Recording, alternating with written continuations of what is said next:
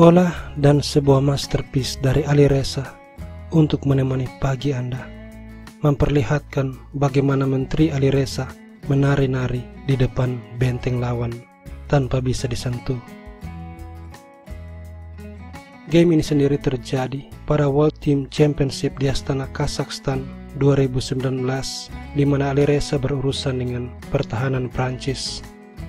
Lawannya di sini adalah juara Kazakhstan 2016 Peter Kostenko yang setelah pion D4 melanjutkan D5 dan Ali Reza melangkah kuda C3 dibalas dengan varian klasikal kuda F6 Ali Reza menyerang kuda kuda mundur, dan pion F4 mendominasi center. C5, langkah khas dari pertahanan Prancis. Ali Reza mengembangkan kuda raja, kuda C6, dan gajah E3. Setelah pion A6, menteri D2, lalu pion B5, dibalas dengan gajah D3.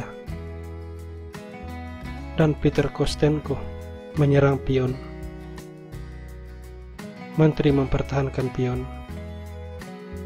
Lalu pion ditukar, kuda makan, pertukaran kuda, gajah makan, dan gajah diadu. Gajah ditukar, kuda makan, lalu pion B4 menyerang kuda dan memprovokasi kuda makan gajah. Pion makan, selanjutnya D4. Kuda E4 mengincar petak outpost kedua belah pihak rokade, lalu gajah B7, dan kuda kepetak D6. Alireza punya kuda oktopus. Selanjutnya setelah gajah kepetak D5, Alireza mendorong F5. Pion ditukar, kuda makan, dan benteng E8. Lalu benteng E1. Menteri G6 Ali Reza meletakkan benteng di baris kedua. Benteng D8 dan Ali Reza mengambil pion.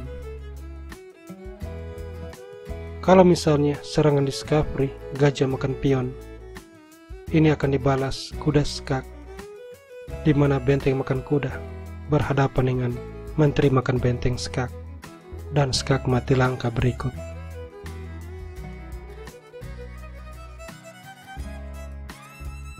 Jadi pion ke petak F6 dimainkan. Ali Reza menaruh menteri di petak B6, memberikan tekanan pada benteng.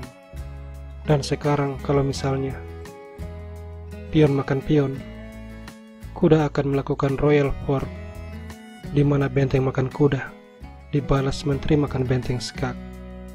Dan jika benteng menutup, gajah akan hilang.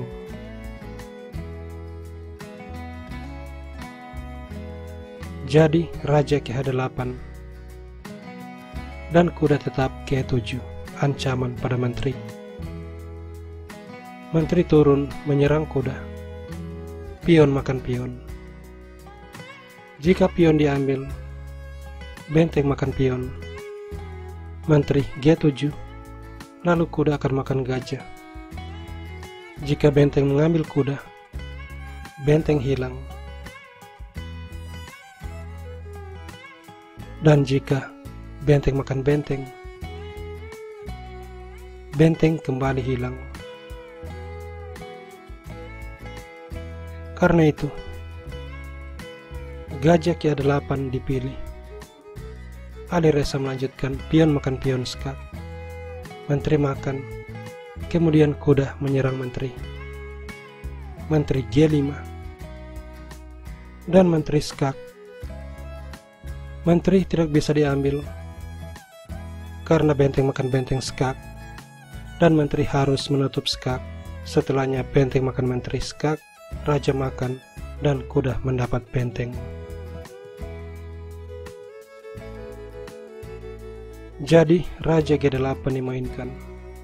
Tapi Ali Reza kemudian menaruh kuda di petak E7 skak. Dan hitam dipastikan kalah karena benteng makan kuda. Menteri akan makan benteng skak. Peter Kostenko memilih menteri makan kuda. Tapi Alireza mengambil menteri. Dan Kostenko menyerah karena benteng makan menteri dibalas benteng makan benteng skak dan gajah akan hilang.